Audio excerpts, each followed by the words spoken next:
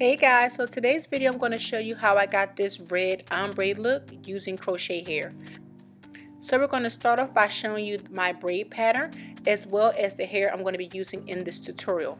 I'm using a total of four packs. I have two packs of the red ombre hair and I also have two packs of the black hair which is in color 1B.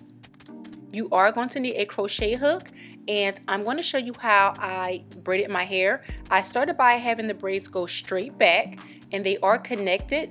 So basically I would braid the next cornrow and just take that piece of hair and connect it to the cornrow next to it. Also I braided the back in a right to left motion and I'm going to take that excess hair and I'm going to just crochet that in between the braids so that nothing is showing and everything is laying flat. So you can braid your hair going straight back, but this is my braid pattern since I have it in a protective style. And this is very easy for me and I like the way the hair lays. So this is the bundle of hair. You're going to get about six to eight pieces per bundle, but as you can see, the hair is very thick. So you don't want to put too much in the back because it can get really big really fast. So I'm just going to apply the hair using the traditional latch hook method. Pull the hair through the latch hook make a small hole and then you're going to pull the excess hair through that hole.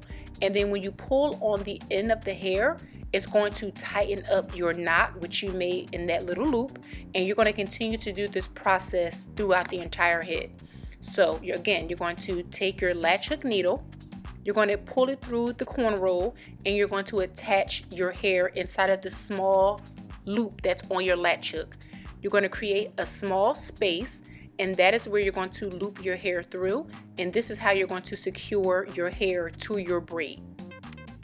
So you're going to continue this process and you're going to use a total of one full pack which is two bundles. This is my second bundle here.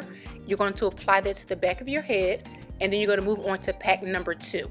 So I'm going to take the second pack of black hair and I'm going to fill in this portion here just on the sides the easiest way for me to do this was again to separate the hair. It's already separate in the pack, so I would just add one pack to one side and I would add the extra pack on the other. So both sides of my hair equals one pack. So now we have a total of two packs of hair in and we're going to start to add our red hair. We're going to do this the same way we did the back create the loop, pull the hair through, and pull on the hair, not too tight, but you're just going to secure your loop. But I do want to share with you how I got the ombre look. Now I knew that I was going to be cutting the hair to give it some shape, so what I decided to do was install the hair, but not even. Typically, I would just fold it over, making sure that the ends were the same length, but I decided not to do that. I made sure that one length was longer and one length was shorter than the other. That way, if I decided to cut it, it would give me more of a highlighted look. As you can see, you see some red is higher up than at the bottom. So when I cut it, I basically wouldn't cut all of the red ombre off. So I'm going into the last pack, which is my fourth pack. I'm going to continue to install it and I'm going to show you what the finished product looks like.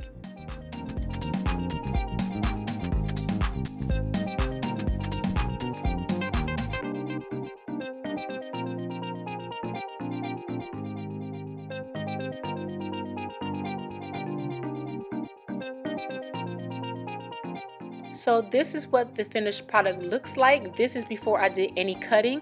If you want your hair to be a little bit longer, you could stop right here, add a little bit of shine spray or hair oil, and this can be your completed look. But I did want to make it a little bit shorter in the back. So I decided to cut off some of the black that was at the bottom.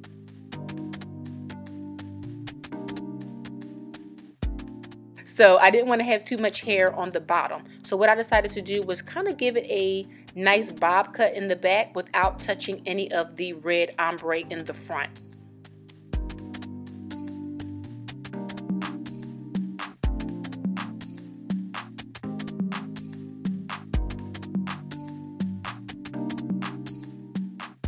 So ladies, that is it for this hair tutorial. Very simple, very easy, and very fast. This entire look only took me 30 minutes start to finish. So thank you guys for watching, and I will see you guys in the next hair tutorial.